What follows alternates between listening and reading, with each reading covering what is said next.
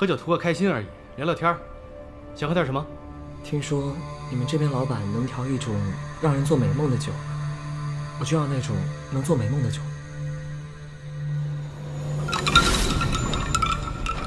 美梦可不一定啊，你要小心了，不要梦到那些张牙舞爪的妖怪变成噩梦，那就不好了。而且我看你眼睛这个样子，不太适合喝酒吧？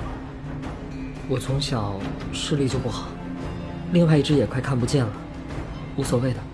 倒是我有个十二年没见的朋友，如果可以，想在梦里见见。包在我身上。喂，你怎么什么活你都敢接呀？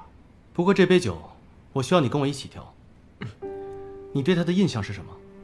他年纪跟我差不多大，是个很温柔的人。他总会给我寄一种他家乡的麦饼和茶，我一想到就饿了。我们都很忙，长大后好多年没见了，我常想起他，但记忆里总感觉缺一点东西。你又捣什么乱？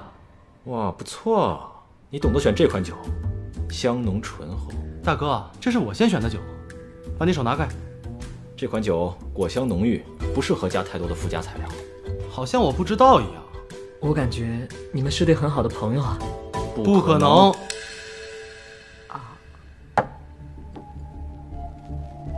这什么？这致幻剂啊？你丧失味觉没有了工作，不要来我这儿砸场子好不好？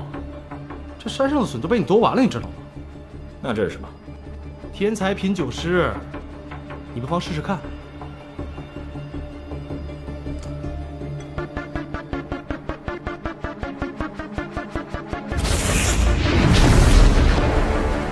怎么？不敢喝啊？谁不敢喝？来，那一起喝。来，来吧。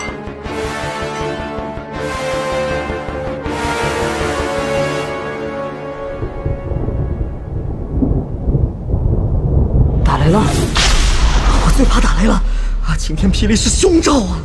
难怪那捉妖师追了我一路，不行，我得赶紧逃！想跑？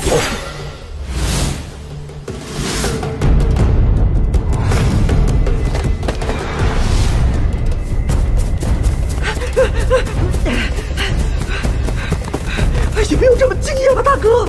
你随便追追就好了，还真追啊！啊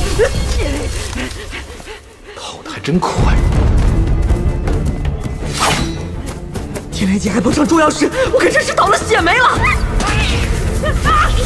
哎呀，说什么硬什么也不用这么灵吧？